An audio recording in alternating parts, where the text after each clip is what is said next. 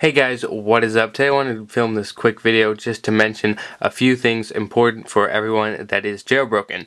Now iOS 6.1.3 beta 2, which was the first beta for 6.1.3, kind of confusing, but that was released a few days ago for developers. If you're not a developer, you don't have to worry about it, but what you do have to worry about is that it patched evasi0n in the beta and that there's a high chance that iOS 6.1.3 when released publicly will patch evasi0n and there'll be people they'll update and be extremely disappointed that there's no way to downgrade and they'll be stuck without a jailbreak.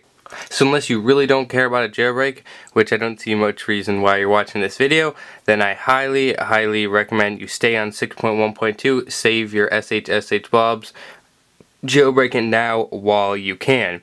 Now, uh, just for some more proof, if you go to planetbeing's uh, Twitter, you can see he retweeted a post on Forbes talking about, uh, quoting him about how the beta patched the evasi0n jailbreak. Now, this isn't for certain, and we'll be sure to make a video slash post on Jailbreak Nation once a public version is released, but for now, stay on 6.1.2. Thanks for watching, and I'll see you guys later.